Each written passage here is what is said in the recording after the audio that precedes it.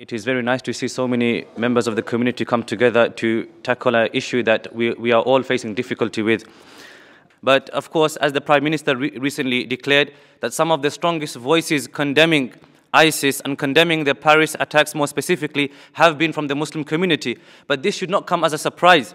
So the question is, is ISIS Islamic? Or are these attacks are they justified by the Quran? Or are they justified by the teachings of the Prophet Muhammad, peace and blessings be upon him? The simple answer is no. But obviously, for many people, this answer is not enough.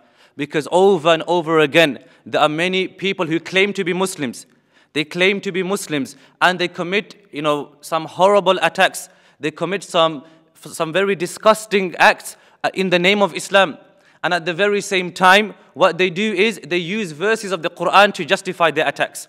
They use ahadith or sayings of the Prophet Muhammad sallallahu alaihi wasallam to justify what they are doing, which has led to many people, Muslims and non-Muslims, genuinely question what does Islam really say about these attacks? Because these individuals, they look outwardly very Islamic. Their beard is much longer than mine.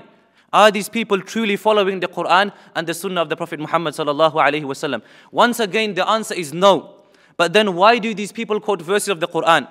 Why do these people quote a hadith or sayings of the Prophet Muhammad sallallahu alaihi wasallam to justify their actions? Because these people, personally, I believe that these people actually are convinced that what they're doing is correct. They believe that they, what they're doing is fully legitimate. They believe that what they're doing has a basis in the Quran and the Sunnah. But of course, their belief and their conviction is based on ignorance. Their belief and conviction is based on lack of knowledge. These individuals, although they quote the Quran, although they quote the ahadith of the Prophet Muhammad the fact of the matter is that they have taken certain verses, they have taken certain quotes from the Quran out of context, and they have placed it, they have misapplied it to fulfill their own, you know, personal gains. And I'll give you an example. I have a nephew who I love very much, and I'm sure you all love your own nephews. And, you know, sometimes I chase him. Sometimes I, you know, play around with him, I chase him, and I say silly things like, I want to eat you. Now, can you imagine if somebody who wasn't aware of the context, if somebody didn't know that this little child was my nephew, can you imagine the headline the next day? Muslim bearded man chases a young child threatening to eat him. And this is the case with these people. They have taken certain verses of the Quran out of context and then they are applying it in, in, in the wrong, for, for, the wrong reasons and you know, in, in the wrong context. But somebody living in, in, in Britain or somebody living in France where the rulers are not Muslim and we cannot hide, we cannot shy away from these facts, then Islam tells us that we must be obedient to the law of the country that we are living in.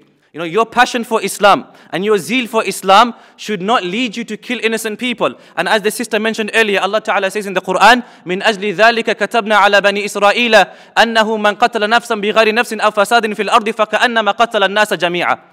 Allah Ta'ala says, and we have made it a law that whoever kills an innocent soul, and the word is nafs, any soul, whether that soul is Muslim or non-Muslim. Allah Ta'ala did not specify that this individual has to be a Muslim. Whoever kills a soul, whether that soul is Muslim or non-Muslim, فَمَنْ قَتَلَ نَفْسًا بِغَيْرِ نَفْسٍ And it was not in retaliation of murder. For example, if somebody murders, then there are certain laws which, of course, that, not, that cannot be applied in Britain, obviously. But there were times in the past when it was applied where if somebody commits murder, their punishment is a death penalty. But this is a completely different you know, scenario altogether. But Allah Ta'ala says that whoever kills a soul, whoever murders someone without any, without any legitimacy, without any authority, it is as though he has killed the whole of mankind. وَمَنْ أَحْيَاهَا فَكَأَنَّمَا أَحْيَا النَّاسَ جَمِيعًا And whoever shows the courage to save one single soul, it is as though he has saved the whole of mankind. Tell me, how many of, of the Muslims you know personally, how, how many of them have you seen, you know, praise ISIS or, or, or commend ISIS or sympathize with ISIS? The vast majority of them don't. However, the question remains, why is it that many, why is it that in the media, now I like to show you something and I usually do this whenever I speak about Islam and terrorism and I hope you, you can all see. I have with me a white piece of paper. Now, on this white piece of paper, what can you see? There's a black spot. Now, tell me, on, on this paper, how much percentage has that black spot taken? A, tiny, a tiny bit, a very small amount. But when you look at this paper, what's the first thing you notice? The small dot. And this is the case with Muslims. Unfortunately, the vast majority of Muslims are the white, clean part, as you can see.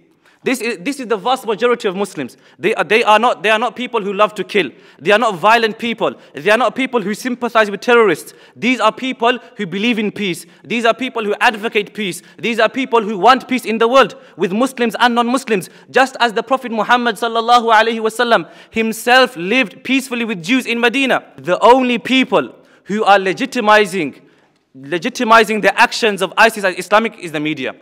Because the media are the ones who say these are Islamic people. Muslims never say this. You'll never hear an ordinary Muslim believe ISIS to be, you know, to be Islamic. Although they claim to be Muslims, it doesn't mean what they do is Islamic. Always remember this that whenever you want to judge Islam, judge Islam according to Islam and not Muslims. And by saying this, I conclude. May Allah Ta'ala give us, a, you know, give the ability to understand Islam